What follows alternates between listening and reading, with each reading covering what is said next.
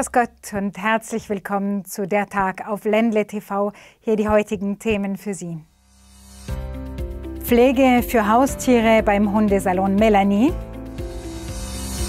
Die tagesaktuellen Meldungen. Und zum Schluss, wie gewohnt, die Wettervorschau von Kachelmann. Gepflegt ist das Streicheln und Kuscheln umso feiner. Das wissen die Expertinnen vom Hundesalon Melanie, denn Körperpflege geht Hand in Hand mit Gesundheit. Daher sollten Haustiere, genauso wie andere Hausbewohner, regelmäßig gepflegt werden.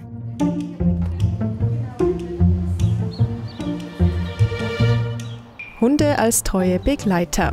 Kaum ein anderes Haustier steht dem Menschen so nahe. Die Wissenschaft geht davon aus, dass sich Wolf und Mensch vor über 15.000 Jahren anfreundeten und sich so nach und nach der Hund entwickelte. Ein Zusammenleben, das sich weltweit wandelte, der Trend der vierbeinigen Familienmitglieder auch in Vorarlberg nach wie vor am Wachsen. Die Anzahl der Hunde ist innerhalb der letzten fünf Jahre um knapp 15 Prozent gestiegen. Im Ländle sind rund 16.000 Hunde steuerlich gemeldet. Auch im Lockdown wurden sich vermehrt Haustiere zugelegt, Melanie Romberg ist Tierpflegerin aus Koblach und sieht, dass oftmals das gewusst wie fehlt.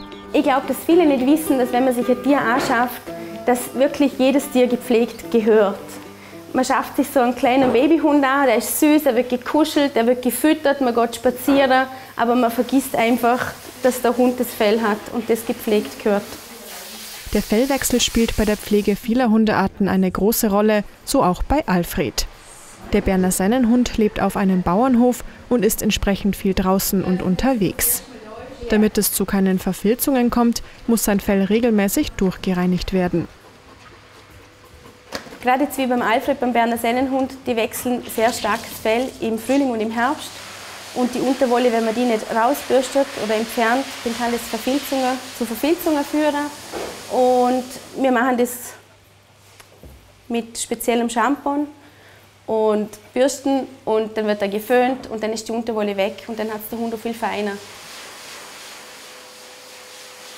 Die richtige Ernährung der Fellnasen sowie auch genügend Bewegung und regelmäßige Pflege sind für Melanie da ausschlaggebend für die Tiergesundheit.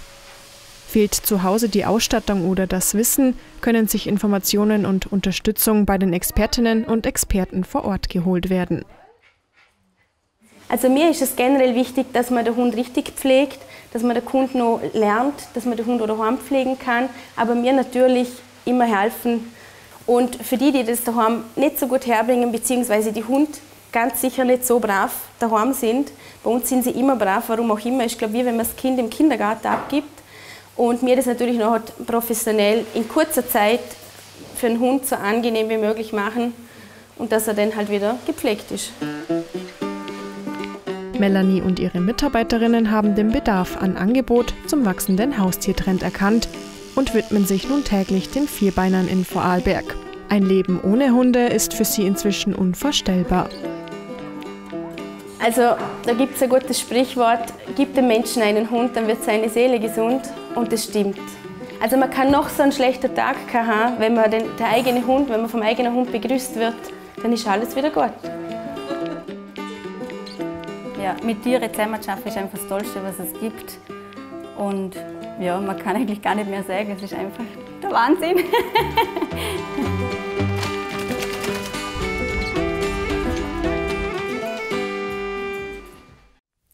Wir blicken nun auf die Meldungen des Tages. Bei vermehrt Fällen von sexuell diskriminierendem Vandalismus in Vorarlberg wurden gehisste Regenbogenfahnen zerstört, geklaut und angezündet. Nun haben sich einige Pfarren zum Recht der Segnung gleichgeschlechtlicher Paare bekannt. Auch die junge Kirche Vorarlberg sieht die Ereignisse als sehr radikalen Schritt. Für Sprecherin Corinna Peter ein Rückschritt, dem sie entgegentreten wollen. Ja, das ist natürlich ein Schlag zurück, muss ich ehrlich gesagt sagen. Ähm, wir als junge Kirche, wir setzen uns für eine äh, möglichst bunte Kirche ein und uns war das nicht nachvollziehbar. Für uns steht fest, jede Liebe ist gleich viel wert. Das Nein zur gleichgeschlechtlichen Segnung seitens des Vatikans und die auftretenden Vandalismusfälle seien da nicht einfach so hinzunehmen. Es gelte weiterhin in den Dialog zu treten und sich auch als Kirche laut solidarisch zu zeigen. Ich persönlich würde mir natürlich eine sehr offene Kirche wünschen ähm, in der jeder Mensch seinen Platz findet, ähm, in der nicht unterschieden wird, woher das man kommt, welche Sexualität man hat, äh, welches Geschlecht. Ähm, ich würde mir einfach wünschen, dass das Ganze sich realitätsnah entwickelt. Um ihre Solidarität kundzutun, hat auch die junge Kirche Vorarlberg Regenbogenfahnen gehisst. Fest stünde, dass die Diskussion weitergehen muss. Und auch im Freitagsfrühverkehr sorgen die Ausreisekontrollen im Leiblachtal für Stau. Laut Verkehrsmeldungen gab es unter anderem über eine Stunde Wartezeit bei der Autobahnausfahrt Hörbrands. Das Land Vorarlberg habe nun angekündigt, die Kontrollen optimieren zu wollen. Den massiven Rückstau wie am Donnerstagmorgen gelte es zu vermeiden.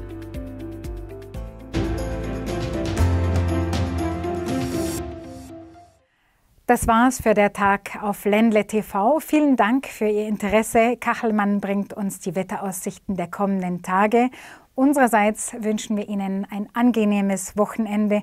Bleiben Sie gesund und achtet aufeinander. Auf Wiedersehen.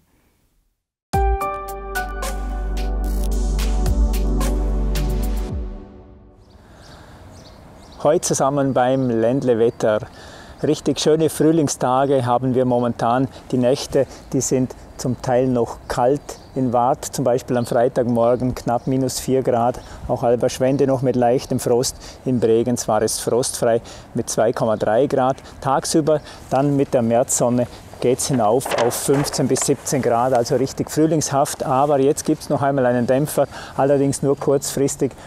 Am Samstagmorgen, schon in den Frühstunden, zieht eine Kaltfront von Westen her auf uns zu.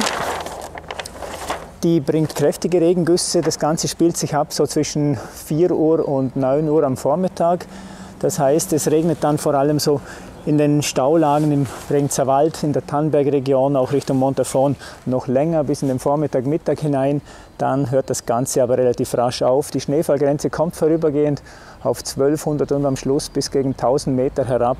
Sonst aber in der Bodenseeregion und später dann auch im Wallgau. Da lockert es im Laufe des Samstagvormittags schon wieder auf. Da schon wieder der Übergang zu trockenem Wetter mit einem Gemisch aus Sonnenschein und Wolken.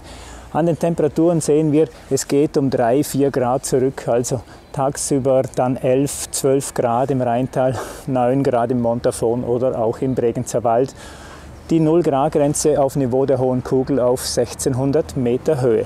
Das ist aber nur eine vorübergehende Sache. Schauen wir auf Sonntag und da geht es schon wieder aufwärts. Palmsonntag eigentlich die Nacht wieder relativ kühl, zum Teil auch wieder mit leichtem Frost dabei, weil es eben sternenklar ist. Dann tagsüber aber viel Sonnenschein, maximal noch ein paar dünne Schleierwolken und mittelhohe Wolkenfelder, die über das Ländle ziehen. Und die Temperaturen, sie steigen schon wieder auf 13 bis 15 Grad.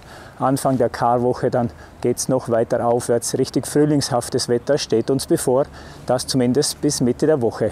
Für Gott bei Ländle TV.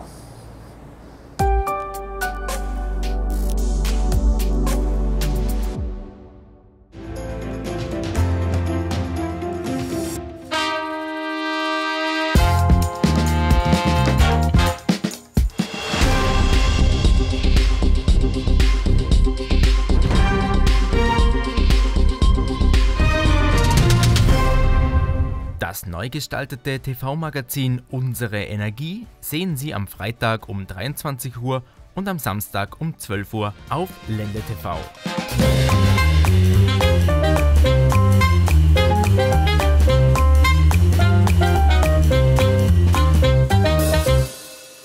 I am uh, Eric. I'm one of the the, the three owners of uh, Vice, and we are here today to cook with all these lovely local uh, products that we have around us. Genau, ich bin's äh, Milena und äh, ich werde heute Amerika ein bisschen zur Seite stehen. Wir kochen äh, gebratene Kohlsprossen mit ein bisschen Spinat und Petersilienöl auf einem ganz knusprigen Kartoffelrösti mit ein bisschen Zitrone, Bergkäse und Knoblauch und Walnüsse frisch drüber gerieben.